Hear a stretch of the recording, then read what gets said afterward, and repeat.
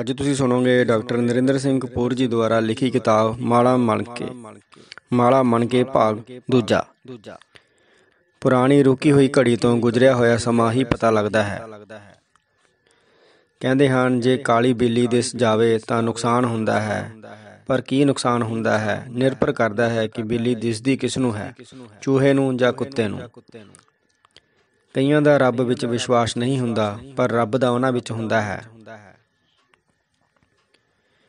ਜਿਵੇਂ ਸਾਨੂੰ ਕਿਸੇ ਦੀਆਂ ਸਾਰੀਆਂ ਸਫਲਤਾਵਾਂ ਦਾ ਪਤਾ ਨਹੀਂ ਲੱਗਦਾ ਐਵੇਂ ਹੀ ਕਿਸੇ ਨੂੰ ਸਾਡੀਆਂ ਸਾਰੀਆਂ ਹਾਰਾਂ ਦੀ ਜਾਣਕਾਰੀ ਨਹੀਂ ਹੁੰਦੀ।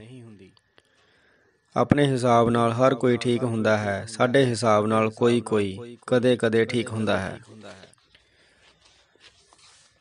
ਨਿਰਾਸ਼, ਮਾਯੂਸ, ਦੁਖੀ ਹੋਣਾ ਮਨੁੱਖ ਦੇ ਸੁਭਾਅ ਵਿੱਚ ਹੈ, ਪ੍ਰਸੰਨ ਹੋਣ ਦੀ ਆਦਤ ਪਾਉਣੀ ਪੈਂਦੀ ਹੈ।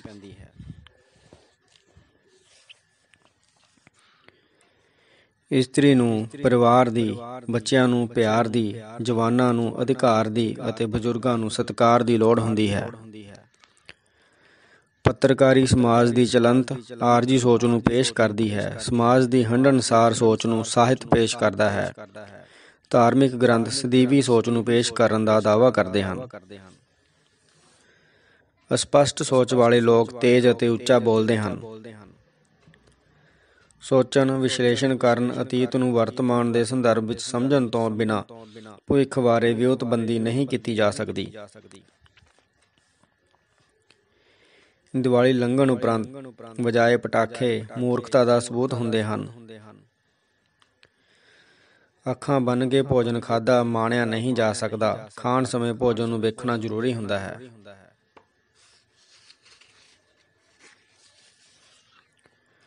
ਕੇਵਲ 35% ਨੰਬਰ ਲੈ ਕੇ ਪਾਸ ਹੋਣ ਵਾਲੇ ਵਿਦਿਆਰਥੀ 65% ਭੀੜ ਦਾ ਭਾਗ ਬਣਦੇ ਹਨ। ਪਰੇਸ਼ਾਨੀ ਦਾ ਕਾਰਨ, ਅਤੀਤ ਦਾ ਪਛਤਾਵਾ ਜਾਂ ਭਵਿੱਖ ਦਾ ਡਰ ਹੁੰਦਾ ਹੈ। ਜੇ ਸਰੀਰ ਵਿੱਚ ਤਕਲੀਫ ਹੈ ਤਾਂ ਮਨ ਵੀ ਪੀੜਤ ਹੋਵੇਗਾ। ਲੋਕਾਂ ਨਾਲੋਂ ਟੁੱਟਿਆ ਹਾਕਮ ਜ਼ਾਲਮ ਹੀ ਹੋ ਸਕਦਾ ਹੈ।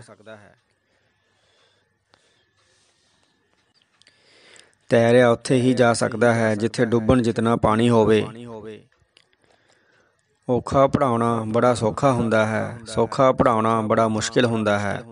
ਚੰਗਾ ਅਧਿਆਪਕ ਸੌਖਾ ਪੜਾਉਂਦਾ ਹੈ, ਉਸ ਕੋਲ ਸਾਰੀਆਂ ਮੁਸ਼ਕਲਾਂ ਦੇ ਜਿੰਦਿਆਂ ਦੀਆਂ ਕੁੰਜੀਆਂ ਹੁੰਦੀਆਂ ਹਨ।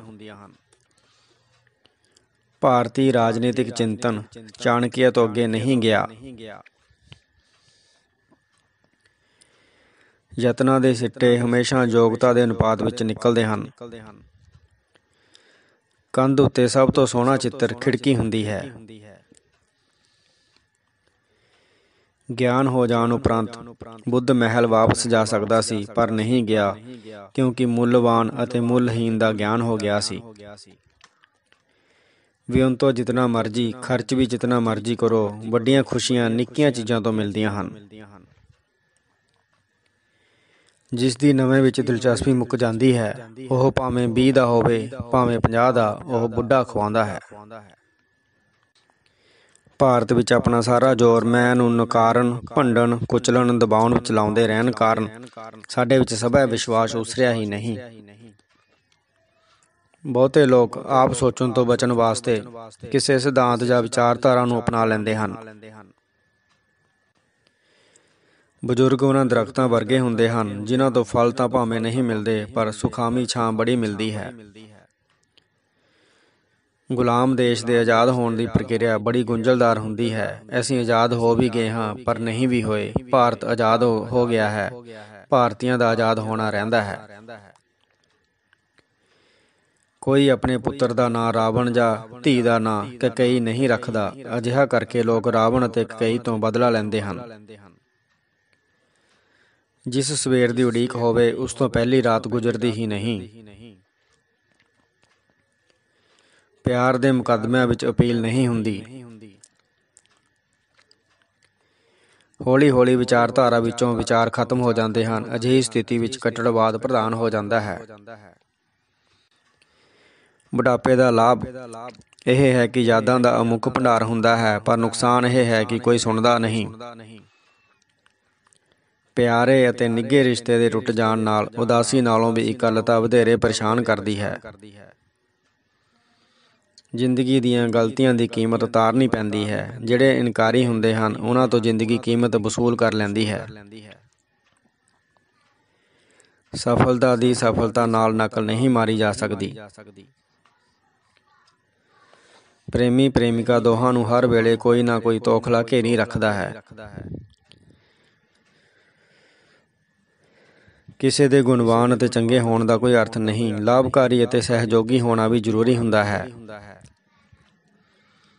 ਸੰਸਾਰ ਵਿੱਚ ਕੇਵਲ ਸਫਲਤਾ ਦਾ ਸਿੱਕਾ ਚੱਲਦਾ ਹੈ।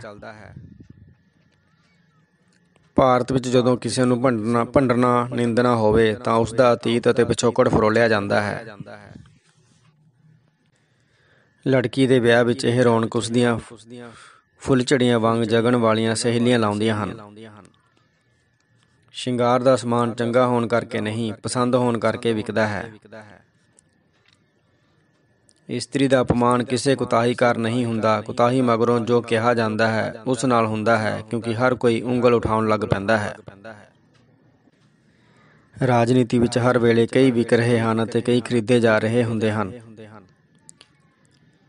ਕਈ ਵਿਆਹੀਆਂ ਤਾਂ ਜਾਂਦੀਆਂ ਹਨ, ਪਰ ਵਸਦੀਆਂ ਨਹੀਂ। ਕਈ ਪੁਰਸ਼ ਤਾਂ ਹੁੰਦੇ ਹਨ, ਪਰ ਪਤੀ ਨਹੀਂ ਬਣਦੇ। ਅਸੀਸ ਪੈਰੀ ਪੈਣ ਨਾਲ ਹੀ ਮਿਲਦੀ ਹੈ। ਕਈ ਹੁੰਦੇ ਤਾਂ ਸੰਗ ਮਰਮਰ ਹਨ, ਪਰ ਖਿਲਰੇ ਹੋਏ ਉਹ ਰੇਤ ਵਾਂਗ ਹੁੰਦੇ ਹਨ।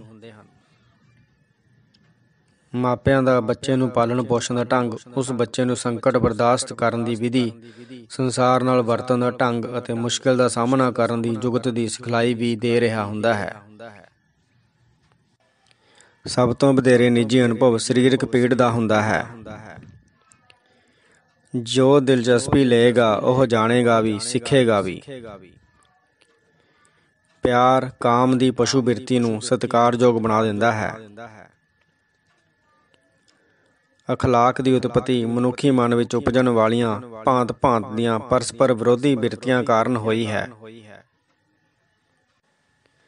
ਭੁੱਖ ਸਮੇਂ ਭੋਜਨ ਦੀ ਤਾਂਗ ਅਤੇ ਕਾਮ ਦੀ ਇੱਛਾ ਇੱਕੋ ਵੇਲੇ ਨਹੀਂ ਉਪਜਦੀਆਂ। ਇੱਕ ਜਾਗੀ ਹੋਵੇ, ਦੂਜੀ ਸੋ ਜਾਂਦੀ ਹੈ। ਇਹ ਅਕਸਰ ਅੱਗੇ ਪਿੱਛੋਂ ਉਪਜਦੀਆਂ ਹਨ। ਜਦੋਂ ਵੱਡਾ ਡਰ ਜਾਂ ਖਤਰਾ ਹੋਵੇ, ਇਹ ਦੋਵੇਂ ਸੋ ਜਾਂਦੀਆਂ ਹਨ। ਪਰ ਜਦੋਂ ਪੂਰਨ ਸੁਰੱਖਿਆ ਹੋਵੇ, ਇਹ ਟਕਰਾਉਂਦੀਆਂ ਹਨ। ਭਾਰਤ ਵਿੱਚ ਕੋਈ ਵਰਤਾਰਾ ਪੂਰੀ ਤਰ੍ਹਾਂ ਪ੍ਰਵਾਨ ਤਾਂ ਹੀ ਹੁੰਦਾ ਹੈ ਜੇ ਅਤੇ ਜਦੋਂ ਸਮਾਜ ਵੱਲੋਂ ਸਵੀਕਾਰਿਆ ਜਾਵੇ, ਕਾਨੂੰਨ ਵੱਲੋਂ ਮੰਨਿਆ ਜਾਵੇ ਅਤੇ ਧਰਮ ਵੱਲੋਂ ਪ੍ਰਵਾਨਿਆ ਜਾਵੇ, ਜਿਵੇਂ ਵਿਆਹ ਹੁੰਦਾ ਹੈ। ਜਿਸ ਦੀ ਤੀਬਰ ਕਲਪਨਾ ਵਿੱਚ ਅਨੁਸ਼ਾਸਨ ਹੁੰਦਾ ਹੈ, ਉਹ ਕਲਾਕਾਰ ਬਣ ਜਾਂਦਾ ਹੈ। ਜਿਸ ਦੀ ਕਲਪਨਾ ਵਿੱਚ ਅਨੁਸ਼ਾਸਨ ਨਹੀਂ ਹੁੰਦਾ, ਉਹ ਪਾਗਲਖਾਨੇ ਪਹੁੰਚ ਜਾਂਦਾ ਹੈ। ਪਹਿਲਾ ਪਿਆਰ ਸਭ ਤੋਂ ਵੱਧ ਜ਼ੋਰਦਾਰ ਹੁੰਦਾ ਹੈ, ਪਰ ਇਹ ਕੱਚਾ ਅਤੇ ਬਚਕਾਨਾ ਹੁੰਦਾ ਹੈ, ਜਿਹੜੇ ਪਹਿਲੇ ਹੀ ਪਿਆਰ ਨੂੰ ਵਿਆਹ ਬਣਾ ਲੈਂਦੇ ਹਨ ਉਹ ਪਛਤਾਉਂਦੇ ਹਨ ਕਿਉਂਕਿ ਅਜਿਹਾ ਵਿਆਹ ਅਤੀ ਭਾਵਕ ਹੋ ਕੇ ਕੀਤਾ ਜਾਂਦਾ ਹੈ, ਜਿਸ ਦਾ ਯਥਾਰਥ ਨਾਲ ਟਕਰਾਉਣਾ ਲਾਜ਼ਮੀ ਹੁੰਦਾ ਹੈ।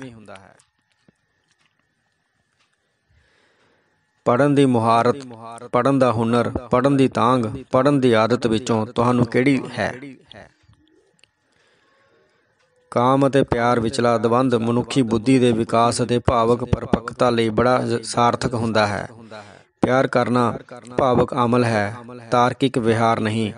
ਯਥਾਰਥਕ ਸੰਸਾਰ ਰੁਕਾਵਟ ਬਣਦਾ ਹੈ। ਦੋਹਾਂ ਵੱਲੋਂ ਰੁਕਾਵਟਾਂ ਨੂੰ ਉਲੰਘਣ ਦੇ ਉਪਰਾਲਿਆਂ ਨਾਲ ਭਾਵਕ ਅਤੇ ਮਾਨਸਿਕ ਵਿਕਾਸ ਵਾਪਰਦਾ ਹੈ।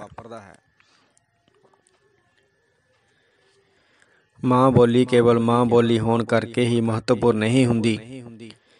ਇਸ ਵਿੱਚ ਸਾਡੇ ਪੁਰਖਿਆਂ ਦੀਆਂ ਸੋਚਾਂ, ਅਨੁਭਵਾਂ, ਸੁਪਨਿਆਂ, ਉਮੰਗਾਂ ਦਾ ਪ੍ਰਗਟਾਵਾ ਹੋਇਆ ਹੁੰਦਾ ਹੈ। ਇਸ ਕਾਰਨ ਇਹ ਹੋਰ ਸਾਰੀਆਂ ਬੋਲੀਆਂ ਨਾਲੋਂ ਸਾਡੇ ਲਈ ਵਧੇਰੇ ਅਮੀਰ ਅਤੇ ਮਹੱਤਵਪੂਰਨ ਹੁੰਦੀ ਹੈ। ਵਿਗਿਆਨਕ ਕਲਪਨਾ ਦਾ ਵੇਰਵਾ ਜੁਪੀਟਰ ਤੇ ਉਹ ਨਾਸ਼ਤਾ ਕਰਨ ਗਿਆ ਸੀ, ਸ਼ਾਇਦ ਉੱਥੋਂ ਵੀਨਸ ਵੱਲ ਨਿਕਲ ਗਿਆ ਹੋਵੇ। ਪਤਾ ਨਹੀਂ ਵਾਪਸ ਕਦੋਂ ਆਵੇਗਾ 2 ਲੱਖ ਸਾਲ ਤਾਂ ਹੋ ਗਏ ਹਨ। ਸੱਚ ਬੋਲ ਕੇ ਇਸ਼ਤਿਹਾਰਬਾਜ਼ੀ ਨਹੀਂ ਕੀਤੀ ਜਾ ਸਕਦੀ, ਇਸ ਲਈ ਹਰੇਕ ਇਸ਼ਤਿਹਾਰ ਵਿੱਚ ਇੱਕ ਸੁਪਨਾ ਉਸਾਰਿਆ ਜਾਂਦਾ ਹੈ। ਹੁਣ ਦਾਨ ਦੇਣਾ ਵੀ ਕਮਾਈ ਦਾ ਸਾਧਨ ਹੈ, ਹੁਣ ਸੇਵਾ ਵੀ ਵਪਾਰ ਹੈ। ਕੀ ਕਿਤਾਬਾਂ ਪੜ੍ਹਨਾ ਮਨੋਰੰਜਨ ਹੈ? ਸਿਨੇਮੇ ਜਾਣ ਵਾਲਾ ਮਨੋਰੰਜਨ ਤਾਂ ਨਹੀਂ, ਪਿਆਰ ਕਰਨ ਵਾਲਾ ਮਨੋਰੰਜਨ ਵੀ ਨਹੀਂ। ਜੇ ਕਿਤਾਬਾਂ ਪੜ੍ਹਨ ਦਾ ਸ਼ੌਂਕ ਹੋਵੇ, ਤਾਂ ਇਹ ਆਪਣੀ ਕਿਸਮ ਦਾ ਨਿਆਰਾ ਮਨੋਰੰਜਨ ਹੈ। ਘਰ ਵਿੱਚ ਕਿਤਾਬਾਂ, ਮੈਗਜ਼ੀਨ ਹੋਣੇ ਚਾਹੀਦੇ ਹਨ, ਜਿਵੇਂ ਸ਼ਹਿਰ ਵਿੱਚ ਬਾਗ, ਪਾਰਕ ਹੋਣੇ ਚਾਹੀਦੇ ਹਨ। ਲੋੜ ਕਾਰਡ ਨੂੰ ਸੰਭਵ ਬਣਾਉਂਦੀ ਹੈ। ਕਾਰਡ ਹੋਰ ਲੋੜਾਂ ਅਤੇ ਸੰਭਾਵਨਾਵਾਂ ਉਪਜਾਉਂਦੀ ਹੈ। ਛਾਪੇਖਾਨੇ ਦੀ ਕਾਰਡ ਨੇ ਸਕੂਲ, ਕਾਲਜ, ਸ਼ਹਿਰ, ਵਿਗਿਆਨ, ਪ੍ਰਜਾਤੰਤਰ ਅਤੇ ਆਧੁਨਿਕਤਾ ਨੂੰ ਸਿਰਜਿਆ ਹੈ। ਜਿਨ੍ਹਾਂ ਨੂੰ ਕਿਤਾਬਾਂ ਪੜ੍ਹਨ ਦੀ ਆਦਤ ਨਹੀਂ ਹੁੰਦੀ, ਉਹ ਜਦੋਂ ਕਿਤਾਬ ਪੜ੍ਹਦੇ ਹਨ, ਉਹਨਾਂ ਨੂੰ ਨੀਂਦਰ ਆ ਜਾਂਦੀ ਹੈ। ਪੜ੍ਹਨ ਦੀ ਆਦਤ ਆਪ ਨਹੀਂ ਹੁੰਦੀ, ਨੁਕਸ ਕਿਤਾਬ ਵਿੱਚ ਕੱਢਿਆ ਜਾਂਦਾ ਹੈ। ਸਮਾਜਿਕ ਝਗੜੇ ਟਕਰਾਓ ਉਸਾਰਦੇ ਹਨ, ਪਰ ਸਮਾਜ ਨੂੰ ਸਮੇਂ ਦੇ ਹਾਣ ਦਾ ਵੀ ਬਣਾਉਂਦੇ ਹਨ। ਪਹਿਲਾਂ ਪੜਨ ਦੀ ਆਦਤ ਪਾਓ, ਸੋਚਣ ਦੀ ਆਦਤ ਆਪੇ ਪੈ ਜਾਵੇਗੀ। ਹਰ ਨਵੀਂ ਕਾਢ ਨਵਾਂ ਪਤਵੰਤਾ ਵਰਗ ਉਸਾਰਦੀ ਹੈ। ਕਾਰਾਂ, ਹਵਾਈ ਜਹਾਜ਼ਾਂ ਨੇ ਨਵੇਂ ਵਰਗ ਉਸਾਰੇ ਹਨ। ਹਰ ਨਵੀਂ ਕਾਢ ਨਵੇਂ ਟਕਰਾਓ, ਨਵੇਂ ਰਿਸ਼ਤੇ, ਨਵੀਆਂ ਸਮੱਸਿਆਵਾਂ ਵੀ ਉਸਾਰਦੀ ਹੈ। ਤੂੰ ਆਇਆ ਕਿਉਂ ਨਹੀਂ ਮੈਂ ਉਡੀਕਦੀ ਰਹੀ ਆਇਆ ਸੀ ਘਰ ਨਹੀਂ ਲੱਭਿਆ ਤੂੰ ਮਾਲ ਰੋਡ ਲੱਭਦਾ ਰਿਹਾ ਹੋਵੇਂਗਾ ਦਿਲ ਦੇ ਰਸਤੇ ਆਉਣਾ ਸੀ ਕਈ ਵਾਰੀ ਉਹ ਕੰਮ ਜਿਹੜੇ ਸਾਡੇ ਕੰਮ ਨਹੀਂ ਹੁੰਦੇ ਉਹ ਕਰਦਿਆਂ ਸਾਨੂੰ ਪਤਾ ਲੱਗਦਾ ਹੈ ਕਿ ਅਸੀਂ ਕੀ ਕੀ ਨਵਾਂ ਕਰ ਸਕਦੇ ਹਾਂ ਉਹ ਕਥਨ ਹੀ ਯਾਦ ਰਹਿੰਦੇ ਹਨ ਜਿਨ੍ਹਾਂ ਵਿੱਚ ਸਮੁੱਚੇ ਸਮਾਜ ਦੀ ਸਾਂਝੀ رائے ਅਤੇ ਵਿਸ਼ਾਲ ਅਨੁਭਵ ਹੁੰਦਾ ਹੈ ਕੇਵਲ ਮੌਖਿਕ ਸੰਚਾਰ ਵਾਲਾ ਸਮਾਜ ਪਛੜਿਆ ਹੀ ਹੋ ਸਕਦਾ ਹੈ। ਛਾਪੇਖਾਨੇ ਦੇ ਆਉਣ ਨਾਲ ਪਰਿਵਰਤਨ ਦੀ ਪ੍ਰਕਿਰਿਆ ਆਰੰਭ ਹੁੰਦੀ ਹੈ। ਜੋ ਪੁਸਤਕਾਂ ਪੜ੍ਹੇਗਾ, ਉਹ ਨਵੀਨਤਾ, ਪਰਿਵਰਤਨ ਅਤੇ ਵਿਕਾਸ ਦਾ ਪੱਖ ਪੂਰੇਗਾ। ਉਹ ਪਰੰਪਰਾ ਨੂੰ ਵਿਗਾਰੇਗਾ ਆਇਨਸਟਾਈਨ ਨੇ ਬ੍ਰਹਿਮੰਡ ਦਾ ਸੰਕਲਪ ਹੀ ਬਦਲ ਦਿੱਤਾ ਹੈ, ਜਿਸ ਨਾਲ ਗੈਰ ਵਿਗਿਆਨਕ ਸੋਚ ਦਾ ਪ੍ਰਭਾਵ ਘਟਿਆ ਹੈ। ਹੁਣ ਸੰਸਾਰ ਸਾਡੇ ਬਜ਼ੁਰਗਾਂ ਵਾਲਾ ਸੰਸਾਰ ਨਹੀਂ ਰਿਹਾ। ਰੁੱਝੇ ਹੋਏ ਲੋਕ ਲੰਮਾ ਜੀਵਨ ਜਿਉਂਦੇ ਹਨ। ਜੇ ਰੁਝੇਵੇਂ ਨਹੀਂ ਤਾਂ ਪੈਦਾ ਕਰੋ। ਪੁਸਤਕਾਂ ਸਾਨੂੰ ਧਾਰਮਿਕ ਸਥਾਨ ਵਾਲੇ, ਮੌਖਿਕ ਸੰਚਾਰ ਵਾਲੇ, ਸਮੂਹਿਕ ਜੀਵਨ ਤੋਂ ਮੁਕਤ ਕਰਕੇ ਵਿਅਕਤੀਗਤ ਜੀਵਨ ਜਿਉਣ ਦੇ ਯੋਗ ਬਣਾਉਂਦੀਆਂ ਹਨ। ਇਵੇਂ ਵਿਅਕਤੀ ਭਾਵਕ ਤੋਂ ਤਾਰਕਿਕ ਹੋ ਜਾਂਦਾ ਹੈ। ਹੁਣ ਕਿਸੇ ਦੀ ਕਿਸੇ ਕੰਮ ਵਿੱਚ ਭਾਵਕ ਦਿਲਚਸਪੀ ਨਹੀਂ ਰਹੀ, ਜਿਸ ਕਾਰਨ ਜੀਵਨ ਵਿੱਚ ਅਕੇਵਾ ਵੱਧ ਗਿਆ ਹੈ। ਕਈ ਕਹਿੰਦੇ ਹਨ ਅਪਰਾਧਾਂ ਨੂੰ ਰੋਕਣ ਵਾਸਤੇ ਸਜ਼ਾਵਾਂ ਹੋਰ ਸਖਤ ਕਰਨੀਆਂ ਚਾਹੀਦੀਆਂ ਹਨ। ਕੁਝ ਕਹਿੰਦੇ ਹਨ ਅਪਰਾਧਾਂ ਨੂੰ ਰੋਕਣ ਵਾਸਤੇ ਨੈਤਿਕ ਵਿਦਿਆ ਦੇਣੀ ਵਧੇਰੇ ਯੋਗ ਹੋਵੇਗੀ। ਪੰਛੀਆਂ ਦਾ ਕਿਸੇ ਥਾਂ ਤੇ ਹੋਣਾ ਉਸ ਥਾਂ ਦੇ ਚੰਗੇ ਹੋਣ ਦਾ ਸੰਕੇਤ ਹੁੰਦਾ ਹੈ। ਪੰਛੀ ਉੱਥੇ ਹੀ ਰਹਿੰਦੇ ਹਨ ਜਿੱਥੇ ਸੁਰੱਖਿਆ ਅਤੇ ਭੋਜਨ ਹੋਣ ਅਤੇ ਜਿੱਥੇ ਜ਼ਿੰਦਗੀ ਦਾ ਹੁੰਗਾਰਾ ਹੋਵੇ। ਉੱਥੇ ਜਾਓ ਜਿੱਥੇ ਪੰਛੀ ਹੁੰਦੇ ਹਨ। ਯੂਰਪ ਵਿੱਚ ਜੰਗਲਾਂ ਵਿੱਚ ਬਾਗਾਂ ਵਾਲੀ ਰੌਣਕ ਹੁੰਦੀ ਹੈ ਕਿਉਂਕਿ ਉੱਥੇ ਪੰਛੀ ਹੁੰਦੇ ਹਨ। ਸ਼ਾਕਾਹਾਰੀ ਅਤੇ ਸ਼ਰਾਬ ਨਾ ਪੀਣ ਵਾਲੇ ਅਕਸਰ ਡਰਪੋਕ ਹੁੰਦੇ ਹਨ, ਪਰ ਉਹਨਾਂ ਵਿੱਚ ਨੈਤਿਕ ਸ਼ਕਤੀ ਅਤੇ ਚਰਿੱਤਰ ਦੀ ਤਾਕਤ ਵਧੇਰੇ ਹੁੰਦੀ ਹੈ। ਫੈਸ਼ਨਦਾਰ ਇਸਤਰੀ ਨੂੰ ਵੇਖ ਕੇ ਪੁਰਸ਼ਾਂ ਦਾ ਵਿਹਾਰ ਦੋ ਪ੍ਰਕਾਰ ਦਾ ਹੁੰਦਾ ਹੈ। ਕੁਝ ਵੇਖਦੇ ਹਨ, ਵੇਖਦੇ ਰਹਿੰਦੇ ਹਨ, ਹੈਰਾਨ ਹੁੰਦੇ ਹਨ, ਪਰ ਬੋਲਦੇ ਨਹੀਂ। ਦੂਜੇ ਵੇਖਦੇ ਘੱਟ ਹਨ ਅਤੇ ਟਿੱਪਣੀਆਂ ਵਧੇਰੇ ਕਰਦੇ ਹਨ। ਹੌਸਲਾ ਵਿਚਾਰਿਆ, ਉਪਦੇਸ਼ਿਆ, ਪ੍ਰਚਾਰਿਆ, ਉਪਜਾਇਆ ਨਹੀਂ ਜਾ ਸਕਦਾ। ਜਦੋਂ ਹੋਵੇਗਾ ਤਾਂ ਦਿਸੇਗਾ। ਦੋ ਕਿਸਮ ਦੇ ਬੱਚੇ ਕੁਝ ਨਹੀਂ ਬਣਦੇ। ਇੱਕ ਉਹ ਜਿਹੜੇ ਕੁਝ ਵੀ ਦੱਸੇ ਅਨੁਸਾਰ ਨਹੀਂ ਕਰਦੇ। ਦੂਜੇ ਉਹ ਜੋ ਦੱਸੇ ਅਨੁਸਾਰ ਤੋਂ ਇਲਾਵਾ ਕੁਝ ਨਹੀਂ ਕਰਦੇ। ਜਿਹੜੇ ਜ਼ਿੰਦਗੀ ਵਿੱਚ ਕੁਝ ਮਹੱਤਵਪੂਰਨ ਕਰਦੇ ਹਨ, ਉਹਨਾਂ ਦਾ ਬਚਪਨ ਸਧਾਰਨ ਅਤੇ ਸੁਖਾਵਾਂ ਨਹੀਂ ਰਿਹਾ ਹੁੰਦਾ। ਜੋ ਡਾਰਵਿਨ ਨੇ ਕਿਹਾ, ਉਹ ਉਸ ਦਾ ਨਿੱਜੀ ਅਨੁਭਵ ਸੀ, ਪਰ ਉਹ ਵਿਗਿਆਨ ਵੀ ਸੀ। ਉਹ ਨਿੱਜੀ ਅਨੁਭਵ ਹੋਣ ਕਰਕੇ ਨਹੀਂ, ਵਿਗਿਆਨ ਹੋਣ ਕਰਕੇ ਪ੍ਰਵਾਨ ਚੜਿਆ ਹੈ। ਫੋਟੋ ਕਾਪੀ ਕਰਵਾਈ ਜਾਂਦੀ ਹੈ, ਪਰ ਪੜ੍ਹੀ ਨਹੀਂ ਜਾਂਦੀ, ਅੱਖਾਂ ਦੁਖਣ ਲੱਗ ਜਾਂਦੀਆਂ ਹਨ, ਪੜ੍ਹੀ ਕਿਤਾਬ ਹੀ ਜਾਂਦੀ ਹੈ। ਭਾਰਤ ਵਿੱਚ ਪੁਸਤਕਾਂ ਪ੍ਰਤੀ ਵਿਰੋਧ ਸਕੂਲ ਵਿੱਚ ਹੀ ਆਰੰਭ ਹੋ ਜਾਂਦਾ ਹੈ। ਵਿਦਵਾਨਾਂ ਦੀਆਂ ਪਤਨੀਆਂ ਪਤਨੀਆਂ ਨਾਲੋਂ ਨਰਸਾਂ ਵਧੇਰੇ ਹੁੰਦੀਆਂ ਹਨ। ਕਿਸੇ ਕਿਤਾਬ ਦੇ ਸਸਤੀ ਜਾਂ ਮਹਿੰਗੀ ਹੋਣ ਦਾ ਪਤਾ ਉਸ ਨੂੰ ਪੜ੍ਹਨ ਉਪਰੰਤ ਲੱਗਦਾ ਹੈ, ਜਿਵੇਂ ਕਿਸੇ ਪ੍ਰੇਮਿਕਾ ਦਾ ਅਸਲੀ ਰੂਪ ਉਸ ਨਾਲ ਵਿਆਹ ਕਰਵਾ ਕੇ ਹੀ ਪਤਾ ਲੱਗਦਾ ਹੈ। ਅਨਪੜ੍ਹ ਹੈਰਾਨ ਹੋ ਕੇ ਸੋਚਦੇ ਹਨ ਕਿ ਕਿਤਾਬਾਂ ਵਿੱਚ ਕੀ ਲਿਖਿਆ ਹੁੰਦਾ ਹੈ। ਕਾਨੂੰਨ ਦੇ ਕੋਰਸਾਂ ਵਿੱਚ ਪੜ੍ਹਾਈ ਪ੍ਰਤੀ ਗੰਭੀਰ ਹੋਣਾ ਨੁਕਸ ਸਮਝਿਆ ਜਾਂਦਾ ਹੈ, ਕਿਉਂਕਿ ਬਿਨਾਂ ਪੜ੍ਹੇ ਹੀ ਹਰ ਕੋਈ ਆਪਣੇ ਆਪ ਨੂੰ ਵੱਡਾ ਵਕੀਲ ਸਮਝਦਾ ਹੈ। ਇਹਨਾਂ ਵਿਦਿਆਰਥੀਆਂ ਬਾਰੇ ਪ੍ਰਸਿੱਧ ਹੁੰਦਾ ਹੈ ਕਿ ਕਲਾਸ ਅੰਦਰ ਲੱਗਦੀ ਹੈ, ਇਹ ਬਾਹਰ ਬਹਿਸ ਕਰ ਰਹੇ ਹੁੰਦੇ ਹਨ। ਵਿਦਵਾਨ ਕਦੇ ਵੀ ਦੇਸ਼ ਦੀ ਮੁੱਖ ਧਾਰਾ ਨਹੀਂ ਹੁੰਦੇ, ਇਹਨਾਂ ਨੂੰ ਪੜ੍ਹਨ ਵਾਲੇ ਵੀ ਮੁੱਖ ਧਾਰਾ ਨਹੀਂ ਹੁੰਦੇ। ਪਾਦਰੀਆਂ ਦੇ ਜ਼ਮਾਨੇ ਵਿੱਚ ਚਰਚ ਵਿਰੁੱਧ ਲਿਖਣ ਵਾਲੇ ਵਿਦਵਾਨਾਂ ਨੂੰ ਵੀ ਸਾੜ ਦਿੰਦੇ ਸਨ। ਹੁਣ ਕੇਵਲ ਉਹਨਾਂ ਦੀਆਂ ਕਿਤਾਬਾਂ ਨੂੰ ਹੀ ਸਾੜਦੇ ਹਨ। ਸਮਾਜਵਾਦੀ ਦੇਸ਼ਾਂ ਵਿੱਚ ਵਿਦਵਾਨ ਜੇ ਸਮਾਜਵਾਦ ਦੇ ਪੱਖ ਵਿੱਚ ਲਿਖਣ ਤਾਂ ਹੀ ਪ੍ਰਵਾਨ ਹੁੰਦੇ ਹਨ, ਨਹੀਂ ਤਾਂ ਇਹ ਜਸੂਸਾਂ ਅਤੇ ਜੇਲ੍ਹਾਂ ਦੇ ਹਵਾਲੇ ਹੋ ਜਾਂਦੇ ਹਨ। ਦੇਸ਼ ਦੇ ਵਿਕਾਸ ਲਈ ਪੁਸਤਕਾਂ ਦੀ ਹੀ ਨਹੀਂ, ਵਿਦਿਅਕ ਸੰਸਥਾਵਾਂ ਅਤੇ ਲਾਇਬ੍ਰੇਰੀਆਂ ਦੀ ਵੀ ਲੋੜ ਹੁੰਦੀ ਹੈ।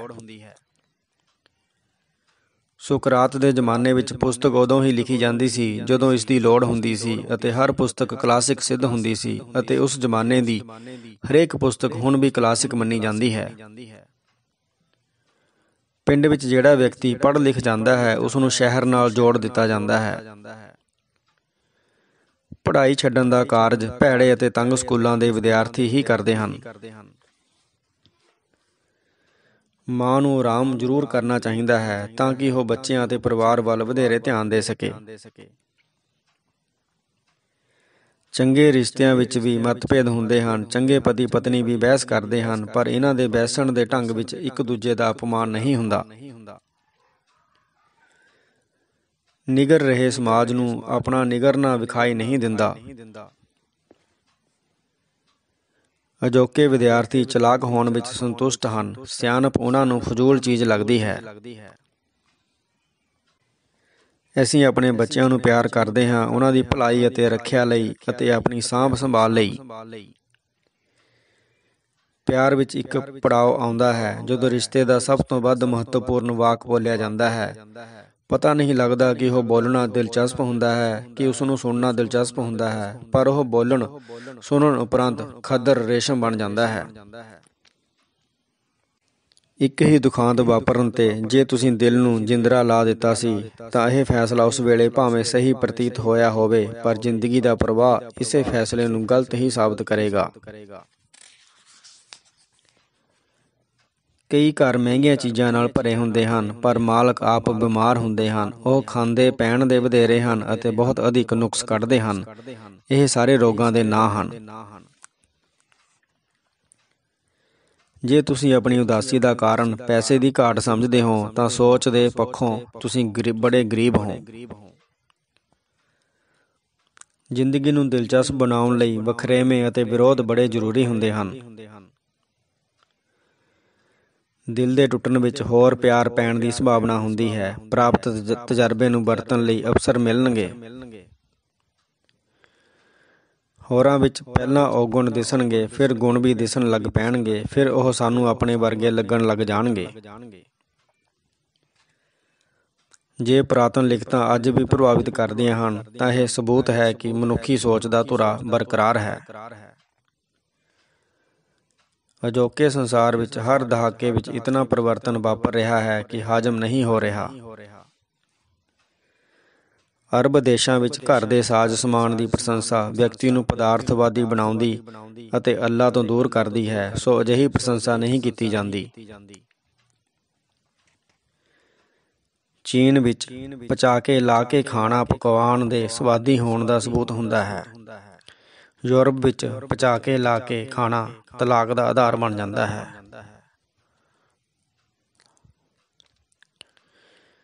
ਮਾਰਦੇ ਹੋ ਕੁੜੀਆਂ, ਲੱਭਦੇ ਹੋ ਬੋਟੀਆਂ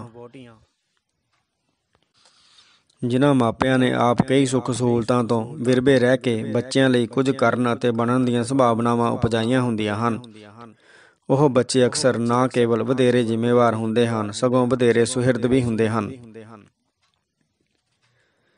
ਜ਼ਰੂਰੀ ਨਹੀਂ ਕਿ ਚੰਗੇ ਪੁਰਸ਼ ਚੰਗੀਆਂ ਇਸਤਰੀਆਂ ਵੱਲ ਖਿੱਚੇ ਜਾਣ। ਅਕਸਰ ਐਵੇਂ ਨਹੀਂ ਹੁੰਦਾ। ਚੈਨਲ ਨੂੰ ਸਬਸਕ੍ਰਾਈਬ ਕਰਨ ਲਈ ਧੰਨਵਾਦ। ਤੁਹਾਡਾ ਦਿਨ ਸ਼ੁਭ ਰਹੇ।